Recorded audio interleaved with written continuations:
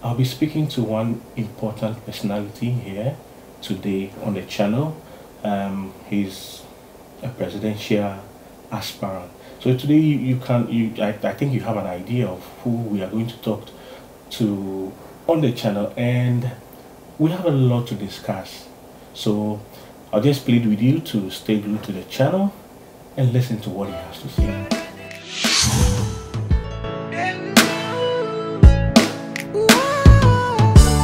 We go make 'em, make 'em. We go, we go make 'em, make 'em. Hey, we go make 'em, Please welcome to my channel. Thank you, Nii. Uh, How are you? I'm fine, I'm fine. Good, good, good, good. Good to be here. Thank you for having me here. Thank you, thank you for Yeah. honoring my invitation to be on my channel, and I'm glad my people will be so happy to have you. I salute your good to people. so, guys, um, I have here with me, as I told you, an, a very important personality. oh, don't worry. I'm not. I'm not that important. so, please, can you just introduce yourself to Right. people? So my name is Marricke Kofi Gane. Okay. Uh, people call me Kofi Ghana. Uh, an old lady started that process, so now everybody calls me Kofi Ghana.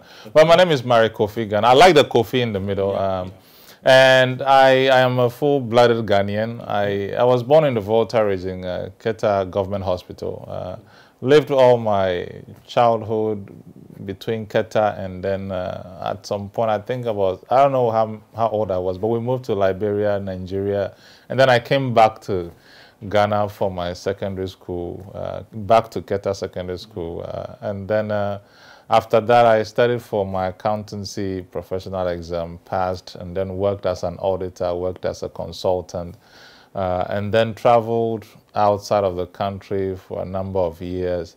Worked with some really, really good organizations as well out there, which, which really added a lot of, uh, you know, uh, experience to uh, what I acquired here. Um, been to about 20 or so countries uh, for work, uh, largely for work, not for pleasure. Africa, Uh, mostly Africa and Southeast Asia, so most of the uh, developing countries. So in Africa, largely any most of the countries where there's been conflict or you know uh, emergency need for support and all that.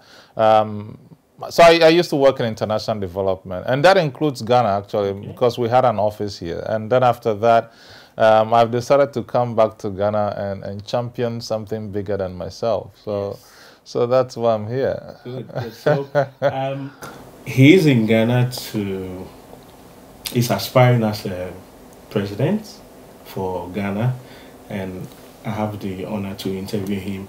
But before we go into that, guys, um, we want to talk a little about um, his personal experience living outside Africa. He's been in the diaspora, so he knows a lot. Yeah, I so, do. Uh, let's talk a little about the diaspora. We move back to Africa, then we channel it down to Ghana. Right. And we ask him why he decided to stand as an aspiring candidate for 2020. presidency. Yeah. 2020. Alright, so, so tell us, how long have you been in the diaspora? Well, I used to be in the diaspora for close to 12, 13 years. Look, it's, it's been one of the craziest experiences. I mean, uh, with, with us. so I, I, I had already chartered as an accountant before I left. And you know, in Ghana, if you're a chartered accountant, you're, you're a big man. Yeah, exactly. But I went to the UK and we call London the leveler because when you go down there, everybody's on the same level, you know. Um, so I went in there, and, and I think most people experience this. You, I didn't get my first job in accountancy, and it means I had to do every other thing. But you know, that's that's the environment. Um, so I, I, I remember I worked as a, a cleaner. I've worked in cleaning before. Um, I've worked as a security guard. Um, I enjoyed that one. um, I've worked as a construction in a construction site before, um, and then I've done you know bits and pieces of other things here and there. Um, before finally landing my first job in actual accounting and, and, and auditing and all that. So, I mean, for me, things like that they they they shape they shape your personality. You know, uh, uh, unlike people who come go abroad and because of a qualification they have, uh, they tell you, I don't mean I can't do that. But you, you need to survive. You need to eat. You know, you need to pay your rent. You need to pay your fees or whatever. You know, so those are experiences that you know. Luckily for me, I must say that I grew up in a very humble environment. I grew up as a fisherman's son. Uh, well, my grandfather was a fisherman. Uh, I used to sell foods with my, my grandma in the Keta uh, market on certain days. I think it was every three days. Uh, it was a market day. So it wasn't, it wasn't, mm-hmm. you know, you would think it's not yeah. below me to go and work as security guard. Uh, you know, that's, I grew up like that. Um, so those are the experiences I carry along. Um, and, and suffice to say, once you've been there a lot longer, it, it, becomes difficult to want to come back home. For most people, it's difficult yeah. to want to come back home because it's a dilemma. Mm -hmm. And the dilemma usually is that things work. Mm -hmm. You know, over there, it may be a hard life sometimes. You don't have family around, it's lonely. Mm -hmm uh, when I went initially, I didn't have family. So it was quite lonely. You know, you don't have anybody to talk to. It's not ex exceptionally as friendly as you know United States and all that. Uh, it's a bit of a very cold environment, and so you miss all that. But you also know that um, if you work for, say, just about seven hours, the salary you're making is uh, probably somebody's monthly salary. Exactly. so you can melt it here in Ghana and, and get some more out of it. So all of those considerations and also considering the fact that, you know, the system out there, things work, you know, to some large extent, things work. So you know for a fact if you get up in the morning, you go to a job, you work for eight hours, you know you can make X out of that. You know, you know if you put in effort A, B, C, you know you will get X, Y, Z. You know, unlike here where, you know, more often than not, um, yes, you can get some jobs done and progress, but more often than not, you also realize that you can't run away from the fact that if you don't know people, you can't make things happen you know, and, that's something that people grapple with. And if you're being there and you're used to just putting in an effort and getting results, then it becomes a bit difficult when you feel that you necessarily have to go through somebody. Um, and if you don't do that, what you realize is that there are people who they don't even put in any extra effort, but because of probably political connections, they may not put in as much effort as you put in, but they always always make more than you do. So it's these considerations that become a dilemma, you know, for people in the diaspora. And I think the other big thing is people feel that, uh, you know, I've lived there all my life, I'm coming back, I don't have anything to show for it. And therefore, they, they feel the pressure on them. It's shameful that you're coming from Aburokyire and yeah. you don't have anything to show for it. Yeah, and it, it, puts people in that. But, you know, the reality is that you, you find that nobody actually cares about those things, you know. Um, so, so yeah, it's a dilemma for being a diasporan.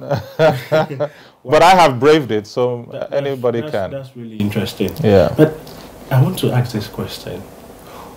What is one of the biggest challenge for people, especially Africans in the diaspora? I think is the acceptance. I think largely is the acceptance. I, I think it's, um, you know, those are not things we talk about. These are things that you can't even prove it. it it's always something that, you know, is simmering in the background. Um, I was lucky in most of the places I have worked in, you know, uh, I've worked as a professional. So in those kind of environment, once you can deliver, mm -hmm. you know, you are accepted, you can deliver, you know. Um, but we can't also run away from the fact that there are some environments that you have to do twice as everybody else in order to get accepted. That's one. I, I think the other biggest thing also is that you usually are there without family. And the system is very so structured that there is no, you know, you can't go to your landlord and say, Master, this as for this this month, you know, this month you have to, you know, help me because uh, things are not moving. So this month, let me skip this month. You can't do that elsewhere.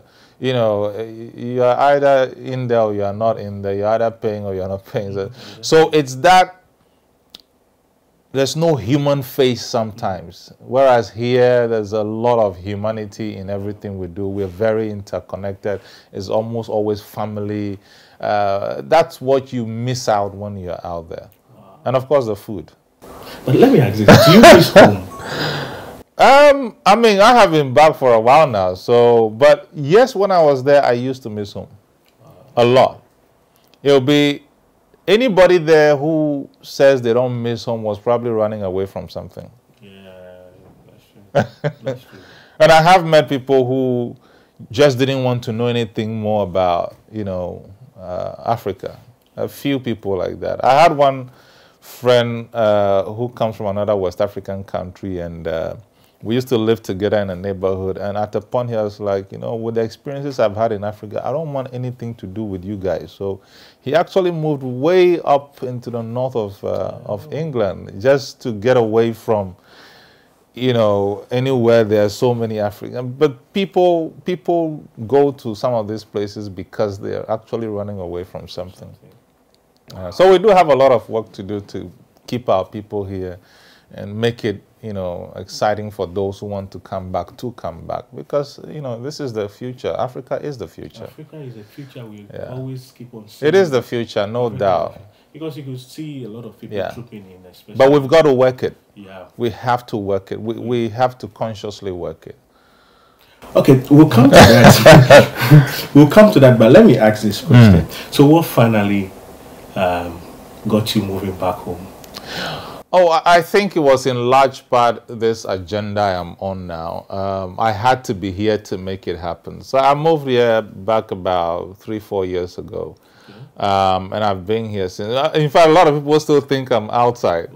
Um, everybody makes that assumption because you've been out for so long. Yeah. When you sneak back in, nobody even knows that mm-hmm. you're here. Um, but I think people know now that I am here. Um, but it's because of this agenda that I had to be back. Um, you know, when you move around a lot, as I have, and you come back every time, I've always been here at least two, three months every year, um, and you come back home, you know, until the last four years anyway, where I've been here permanently. But when you move around a lot and you come back, one of the very immediate questions you start to ask yourself is, you know, with the kind of resources we have, with the kind of human capacity we have, uh, with the kind of peace that we have, you know, you start to ask yourself, why aren't we like the others?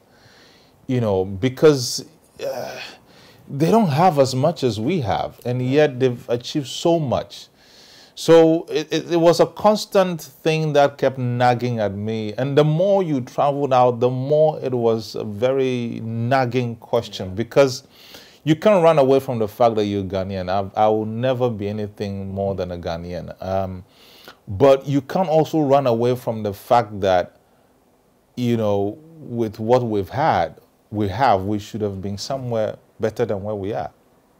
And so it's that thing that, you know, eventually you decide, I decided that I can't sit on the fence anymore. Um, uh, and here's my slogan I always share with people, and I want to share with you, is that we've had independence for 63 years now plus. Um, we don't have another 60 years to waste. We don't have another 60 years to waste. So we, we've either got to make it happen now or we've lost it. Somebody, uh, an Asian once told me, uh, here's a true story. I met him at a conference. He's an old man. As soon as he heard I was Ghanaian, he said, oh, Ghana, Gold Coast. And I was excited, we were talking, and then he, he, he shared his story. So he was one of those young people very early on during Lee Kuan Yew's time. Mm -hmm. And he says he remembers that they, he, they, they came here to kind of uh, learn, you know, just get a grasp from some of our ministers back in those days because back in those days Ghana was considered as yeah. you know um, so in his mind he felt oh we were almost at the same level as them now or even you know above that and so we got talking for a long while and he said you know what every country every number of years they get a window it's a window of bright opportunity that they have to explore. Um, and that every time that window opens in a small way and you don't push yourself through it, it will take you another number of years before another window opens. And I feel right now is our opportunity. That window is open now. We've got a very youthful population. Um, Africa is on the rise. You know, there's a lot of things open to us now. You know, technology is here. So we don't have to spend as much time to catch up as others have. So, you know, I feel we have that opportunity now, not just Ghana, but just Africa generally. Wow. Like that. That really went to me. Like that. But I want to ask this question mm. on behalf of um, people in the diaspora watching us. Um, when you finally moved back home, mm.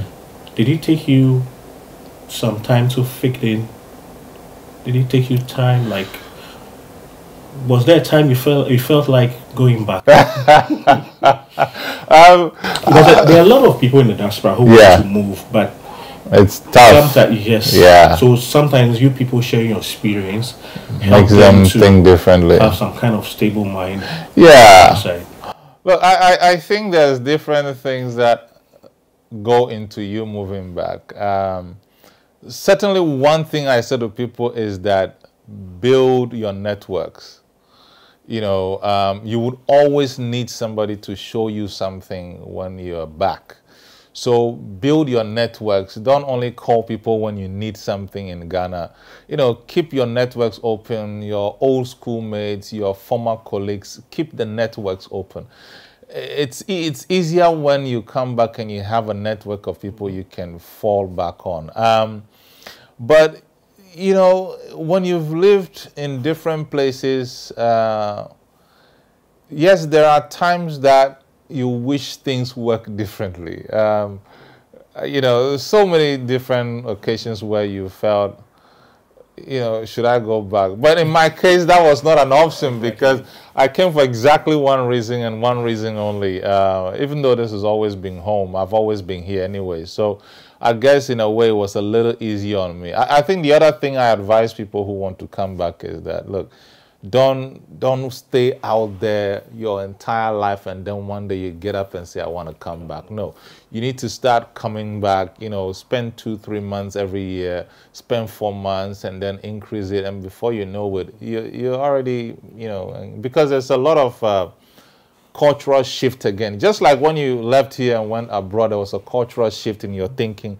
When you do come back again, it's an, a reverse cultural shift. You need to change the way you do things. Uh, um, keeping time is one of them. Yes, um, Africa. We have something called African African time. you know, uh, I used to. I I still do that. I, I go for meetings. People don't show up. Fifteen minutes. I leave. Um, and then you leave before people tell you, oh, I've just arrived, though, where are you? And I said, well, I waited for 15 minutes. So, oh, well, 15 minutes, you know, it's, it's just 15 minutes. I said, no, it's not just 15 minutes. It's 15 minutes of my life you just wasted. Uh, you can't get it back. You can't give it to me back. So, um, but over time, here's what I say. Once you do that enough, people know this is what you stand for. They may play that game with everybody else, but not with you because they know you would leave. Uh, so it's about being principled. Uh, you know, I think um, you, you become the game changer. You become, you set the standard for everybody to follow. All right. So talking about Africa, we all know what is going on in the world with uh, we are facing with this pandemic, and there has been a lot of things happening on the continent of Africa. Mm. My question is that. Um, what is your view on this pandemic? And then, do you, think it is a great opportunity for Africa, African countries to liberate themselves from the Western world and start producing things on their own? Ah, That's a, that's a brilliant question. Um, I, I think the pandemic, even though it's come to disrupt a lot of things, I, I also think it is um, it has spoken on all our behalf. It is COVID has been able to say things that people know but wouldn't say. Um, it has exposed a lot about the systems we've been building up to this point and has been able to show whether indeed we were building systems or not. Uh, and I think that's a crucial thing that uh, aside the, uh, the disease itself, COVID has been able to do for us. So in a sense, that's a good thing. Um, because it, it's almost as though COVID has become our reality check to say, look, mm -hmm. you say you've been building health systems, educational systems, economic systems for close to 27 years, or in some cases 50 years, 60 years, whatever number of years. Mm -hmm. But have you really been building that? And I think that's a critical thing COVID has done for us is to stop us and ask the question, you have you really been doing this? -hmm. So in that sense, that's a good thing. Um, you know what? to answer the second question you asked me, which is that do I think now is the opportunity for Africans to liberate themselves? I think that thing, that, it's not even about COVID. That, that is a thing that should be happening a long time ago. It should be happening yesterday. Um, yes, I think COVID has emphasized why it is even more crucial now. Because I tell you what, after COVID, a lot of countries are going to be inward looking. Mm -hmm. Most countries that used to depend on external others to make the economies happen are going to be saying no. After everything we've seen, we've got to learn to be, to some extent, self-sustaining. And then what we can't do, we get from outside. It also means that, you know, we are largely exporting continent. We export a lot of raw materials and all that. What it means is that we're, we're going to have to start finding ways of adding value. We, and this is a conversation that every government has said, has talked about, oh, we want to you know, add value to our resources. Everybody says that, but nobody does that. Now, it, it cannot be talk anymore. It has to happen. Absolutely. So um, I suppose the question you ask is two ways. Yes, I think now is the time, but I also think that it's something we should have done way back. I mean, why would you have resources and not add value to them when you can get more from the valuable ones? And, and here's the thing people we miss in Africa. Um, people talk about, oh, we want to create industries and all that, but you know, the real economy is education. That's the real economy. I, I, I don't know how to get that down to people, but look, every country that has succeeded has succeeded because the world buys and sells education. It's as simple as that. This shirt I am wearing is education because it simply is cotton. You need to understand how the qualities of cotton, the, uh, the chemical elements, components of cotton. You need to understand what to do together to put it in this format. You need to understand how to create the machinery to sew it. Those are all education, it's, it's knowledge. And so if we can develop our knowledge to a certain level, we can begin to do a lot of things that currently we have to import in. So if Africa is going to go forward, it's, it's the youth, it's the knowledge, and it's about believing in our own people. If we get those three things right, it's about believing in our own people. It's about believing in our own people. I think the next question I'm going to ask you, you've already mm. answered it. What's that? That if is Africa mature enough to take things in their own hands and stop depending on the You've said it already. uh, yeah, I mean, there's there's so many angles to it. I, I, think I think Africa is mature. I, I think intellectually we have some maturity. Look, we're we're in a better place than where China started from. Mm -hmm. We just need the political will to back it. Okay. You take Ghana for example. We, many businesses have been destroyed in this country because of political, you know, uh, vindictiveness if those back in the 70s and 60s, 70s especially and, and 80s and the rest, a lot of business, especially 80s, a lot of businesses were collapsed purely from vindictiveness. If those, and, and I'm not talking small businesses, I'm talking yeah. businesses that used to manufacture, that used to, you know, a lot of them were collapsed.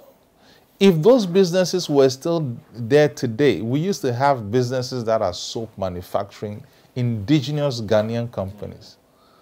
Today, we still import things like soap and all that. You know, we had companies in this country that were, it's painful. It's very painful. If those companies were still here today, because as a company, you never just exist. The more you manufacture, the more you explore other areas, the more you grow you know, the more your capabilities expand. And people going through those companies, maybe they are there one year and they move on, they are also learning. And so we're actually not just industrializing, but we're also producing thinkers, industrial thinkers, you know, but when you collapse, then you have to start all over again. It's so sad. Yeah. I, I stand to be corrected though. I used to say when, when you look at Ghana, we have a lot of um, banks that are coming from outside, but I'm still yet to see a, a bank from Ghana that has crossed the shores of Ghana. no comments. I, I'm, I'm still waiting. Well, if, if you say that, somebody might say Ghana Commercial Bank is in London, but that's just a branch. It's not operating. Yeah as going there to win UK businesses, operating as a branch for you know people to do business with Ghana. Um, so no, I I I, um, I totally agree with you. But there's this talk on Africa, especially that democracy is not good for Africa. I don't. I I think it's the way we have practiced democracy. No, I don't. I don't think the question is about. I, I, I think it's always good. I mean, I wouldn't prefer the previous regimes where it's all military, everybody taking a gun and running the show when they want to. So, in that sense alone, democracy in a way is good because it gives people a voice. It's better than no voice at all. I think what we haven't done well is how we have practiced democracy. You know. Um, for me, my understanding of democracy largely is about ensuring that when you go forward as a country, you're going forward by carrying out the mandate that the people want carried out. What we've ended up doing largely is that we've found ourselves in a situation where the people are there. The parties are here, the country is here, and there's work to be done. The people want X to be done, the parties tell the people we will do X for country to go forward. The people give them mandates. Parties come into power. Their uh, values is not being added to them. Their lives are not getting better. But the small group of people in the political sphere of things are amassing wealth. Their lives are getting better. And the cycle keeps going round and round. Because here's the thing we don't see the party big men who send their kids abroad and give a certain level of education that is not at par with what their kids are getting to the masses. The masses increase in number, they get to a point. Guess who's, when these guys die out and leave the scene, their kids are going to come back. They have the skill set because they went to the best schools. Um, they have the knowledge They've got their fathers and their mothers' money, so they have the resources to back them. Guess who's going to continue taking control? It's the same people, same families. So it's going to be a it's a cycle that is going to go on until we liberate the masses, the people, and give them the same. I want to see people, you know, it doesn't care where you are from this country have the same level of exceptional education as somebody in the UK or the US would have. Um, and be empowered to create opportunities for yourself. When that happens, it means that we've literally just empowered the masses and and the whole idea of politics changes. It becomes a different kind of politics. Now these guys here don't have a choice but to actually serve. Because these guys who are the masses are actually as powerful as they are. Currently as it is the shift of power is very one-sided. It's with a few who have the money and who have the control and, and who can do anything with those control and that money as well so that needs to change that really needs to change. it, a lot of Africans are calling for the One Africa. Some are calling it United Nation of Africa. Others are calling it United um, States of Africa. Please, just share with me. What's your view on this? And do you think it is possible for Africa? anything is possible. Um, but for that to happen, it also means that our thinking has to be aligned.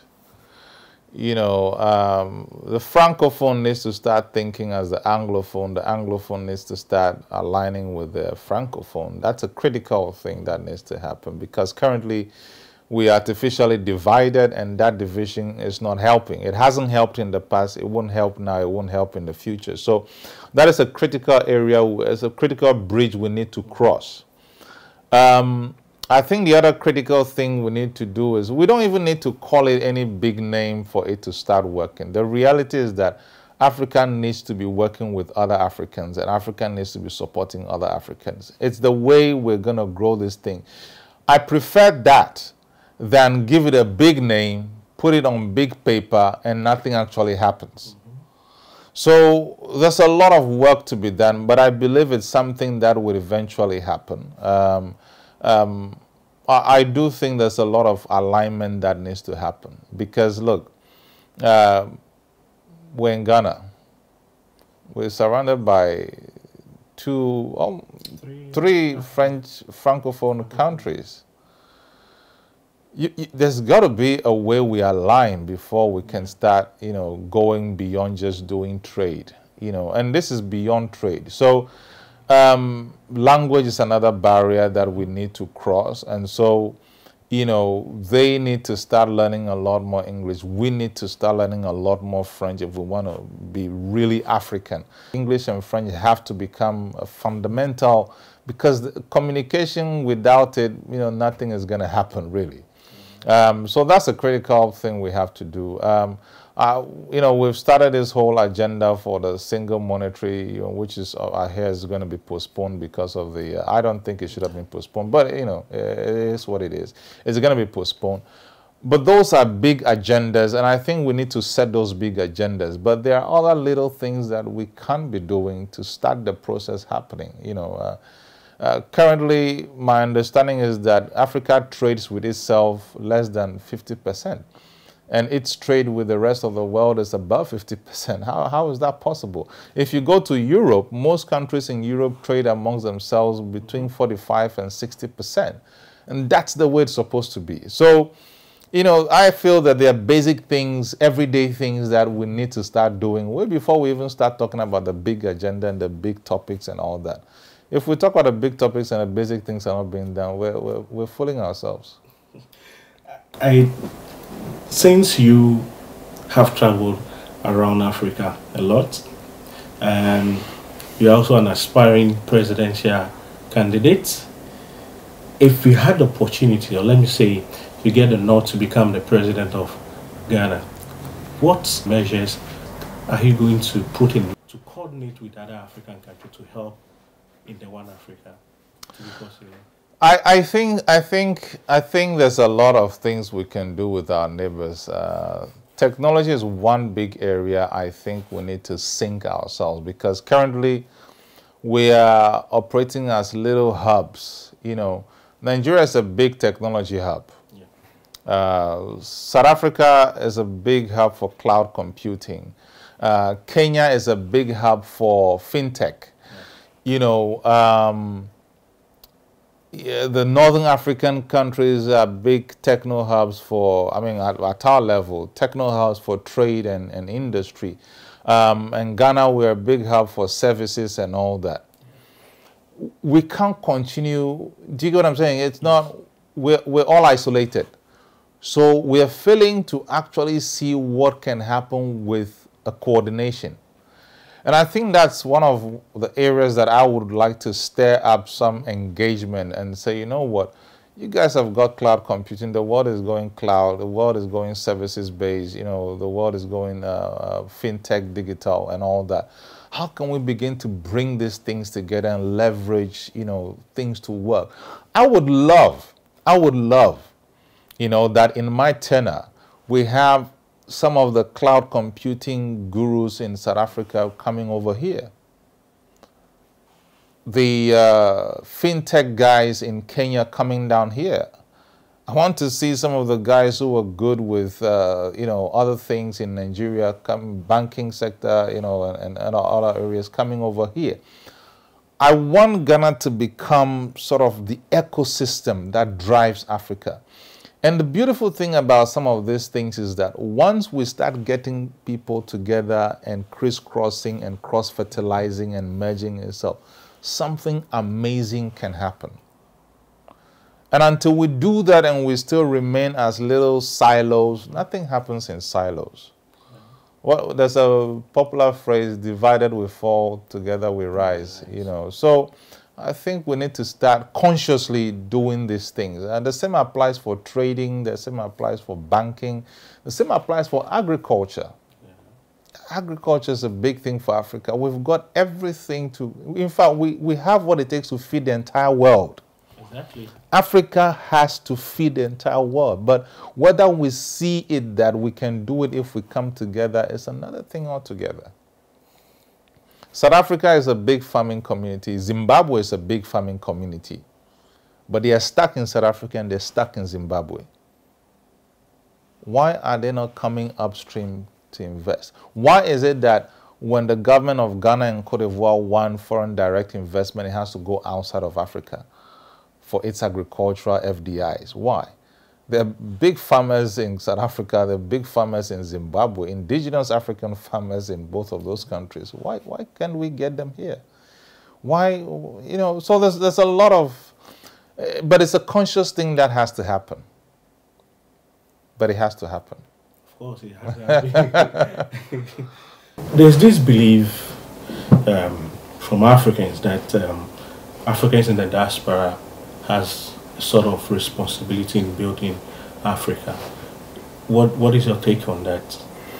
Um, as for responsibility, they have. They they owe it to their countries that whatever they've learned out there, the skills they've acquired, the funding, the monies they've gained out there, that they bring it to help um, Africa. That's what the Asians have done. That's what you know a lot of the Israelis did. Uh, is to go back home with their resources uh, in whatever form it takes to, to help build their countries. But I think it'll be erroneous on anybody's part to think that it's only diasporans who can do that because the reality is that no matter how long they've been out there, no matter how much skill they've acquired or how much money they have, you know, Africa is unique.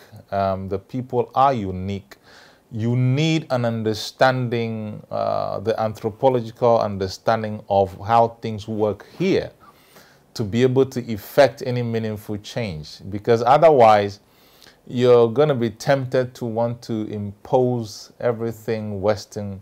Uh, yes, by all means, learn what you learn from there. But when you come down here, you need to put your mind on the ground and say, what is it that works here and how does it work? And if it's not working well, how do I leverage my knowledge elsewhere, twist it around, shape it differently so that it works for this context? So I think it's a balance that has to be set, which is to say, you know what? Let the guys from the diaspora come in. Let's combine forces with the guys who understand things here. And let's together make something beautiful happen. And I think that I, I have been lucky.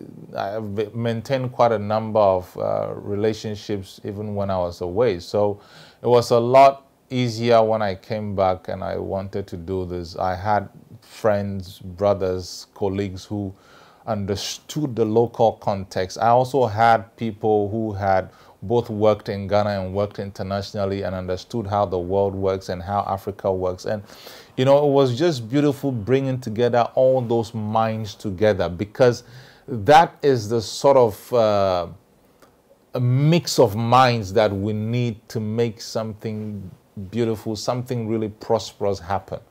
Um, I, I, nothing would happen if it's one-sided all diaspora or one-sided all, um, you know, indigenous. It's not going to happen. It's got to be a, you know, it's it's the marriage of minds like that that makes new things happen. Because if it is just those in the diaspora, it means all we'll have is the things in the diaspora. If it's just those domestically, it's just that we have. But it's the marrying of those new things, you know. Uh, you know I, I say to people, you know, bread is always going to be bread, meat is always going to be meat, but bring it beautiful together and you have amazing burger, you know. you look very intelligent. You have a lot of insights. So now let's get into it personal. Why did you choose to stand for presidential candidates? Well, I mean, when you look at the work that needs to get done, it couldn't get done as a, as a district assemblyman. I'm not saying they are below me. I would happily go in any of those areas. You can't get it done by being an MP for just one constituency. There's a whole lot that needs to get done. And there's a whole lot that needs to get done to affect a whole lot of people very quickly. Um, and so for me, for somebody who has worked, you know, in policy environment and, and worked in different countries, understood, you know, political angles to different things and understood how the world works, I felt it was crucial that the change we needed and the size of it could only happen at this at that level, um, because otherwise, you know, I've heard people say, "Oh, just brighten the corner where you are," but Ghana is not a corner. You know, people's lives that we're looking to support, make better, are not corners. You know, everybody needs to be affected very quickly across board, and and the only way to do it is at the highest level. Um, so no, I'm not doing this simply because I want fame or I want anything. I, I think there's a big uh, set of work to get done, and it requires that somebody gets in there and gets it done. I, I, I have no emotions tied to this agenda, so it's not one of those things that people would say, oh, what's your motivation? And then I give a nice motivational speech. For me, this is a duty. It's a work that has to get done. There's no two ways around that. I can't make it sweeter than that. It's work. It's got to get done. And, and I'm here to get it done. Um, that's the kind of environment I, have I've worked in all my life is that is there work to be done. Let's get it done and let's get it done well. Uh, you know I'm not into the whole you know emotional uh, or oh, what's the motivation? And then people ask me that every time. I'm glad you didn't ask but people ask me that every time as if you know running a state or country is a motivational agenda. No you know, when I'm out of office, I can do the whole motivation stuff and say, you know, when I was going in, I was really, you know, it's a big thing on my shoulders. But, you know, wherever there's a will, there's a way. It's not time for that. Uh, it's a lot of work to get done. It's a lot of work to get done, and we need to get it done. Wow. Indeed, there's a lot of work to be done, and there's, you know, the people are used to leaders coming to say a lot of things and looking at the past, the record shows. But in your case, I want to, I want to ask on their behalf, what different are you bringing on the table that will get them to support and then help you get there?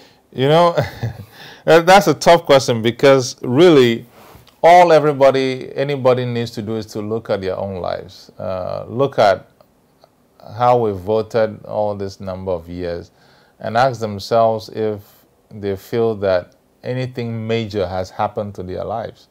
Um, has anything happened to the individual lives?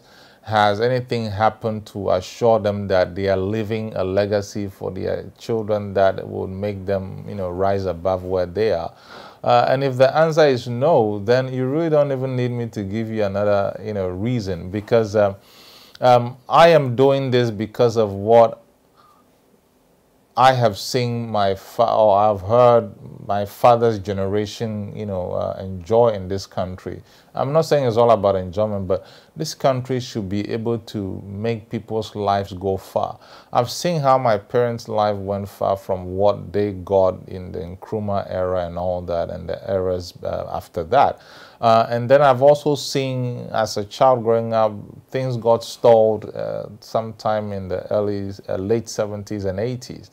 Um, and then we're in a new dispensation, which is our dispensation. And one of the questions we I ask myself is, am I just going to sit back and watch things run away as as they have left, you know, the generations before us? So, in fact, if you look at it, we you and I's generation is the most critical generation because we've got to do three times the job. We've got to do three times the work. Um, we've got to make sure that the dreams of the generation before us that were not fulfilled, they get fulfilled. Then we've got to make sure we do something for our own generation. We do something for ourselves. And then we also have to make sure that we leave some foundation or legacy behind for our children and their children's children to start building from because it'll be an indictment on us that after everything we've seen and experienced, we also live the same and the generation after us also has to come and start from scratch. That'll be a big indictment. So we've got three times the work to do. Um, and, and I think it's about time we move away from this color party or that color party and let's all gather around and say, look, for once, for once, let this be about Ghana. Let this be about Africa. And, you know, the whole color thing is not, it's not taking anybody anywhere. You know, the color thing, uh, you know, I belong to this color, I belong to that color. It hasn't taken any, anybody anywhere. When you're born, the first thing in your blood is Ghana. The first thing in your blood is Africa. It's not some political color. It's not some ethnic, whatever, color it's about this continent, it's about Ghana. So uh, there was an argument on Facebook the other day, somebody saying, oh, um, uh, the Tema Road has been constructed, or oh, it was constructed under this government, and then somebody else said, but it's that government that found the money to do it. And there's a whole argument going on about it. And I say, so where is Ghana in all of this? Because it was a foreign company that came to build the, the, the, the road. As a foreign company that gained from the increased technical know-how. As a foreign company that took the profit away, and yet nobody's talking about that. Yeah. We are all focused on about, this is my color, so I have to defend that color. And Ghana right in front of us is losing in all of that process. But because we are so fixated on the colors, I say let's get away from the colors, which is why I actually decided to run as an independent because then it's not about party A, party B, party C. No, it's not about parties anymore. I am here for Ghana and Ghana only. And I don't care whether you know you wear that color or that color. If you are the best man fit for a particular job, you get the job done. It's, it's as simple as that. Uh, we've got to move away from, we've got a long way to go. So this is not, we don't have the time to, you know, uh, that's not. Good, I understand, guys. It's, it's really interesting and um, we can go on and on and on and on. But as they say, time flies. So we will be bringing it to an end. I know you enjoyed this interview much. I'll, I'll, I'll try and bring him back again. but if you want me to bring him back again, just comment on the comment section below and then I'll bring him back. But your final words to Ghanaians and also people in the diaspora and all Africans. I say to, let me start with Africans. I say to Africans, look,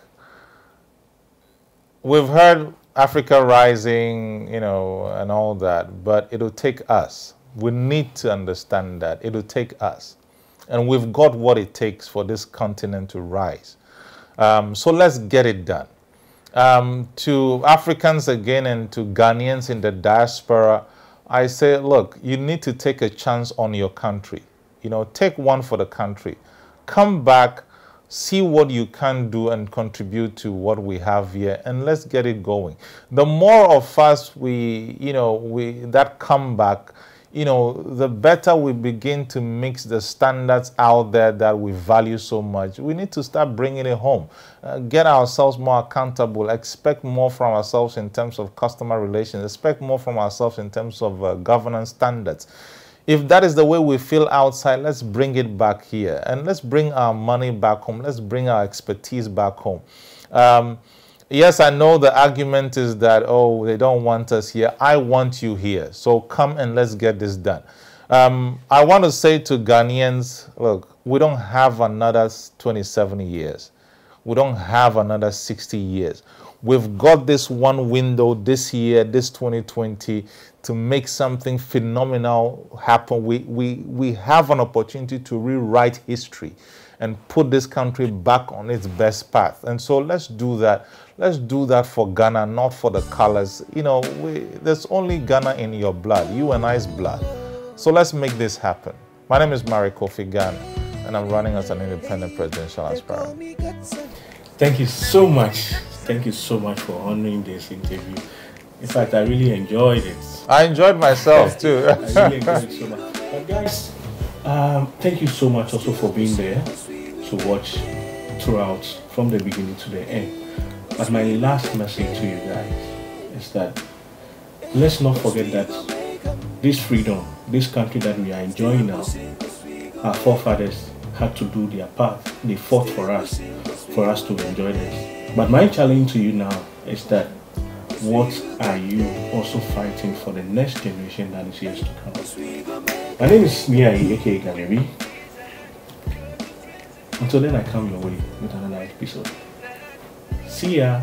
Hola. Wow.